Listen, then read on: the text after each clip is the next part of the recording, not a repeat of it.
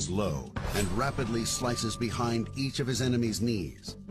The targets are key tendons and hamstring muscles that hold the enemy upright. The zealot warrior strikes upward toward the neck.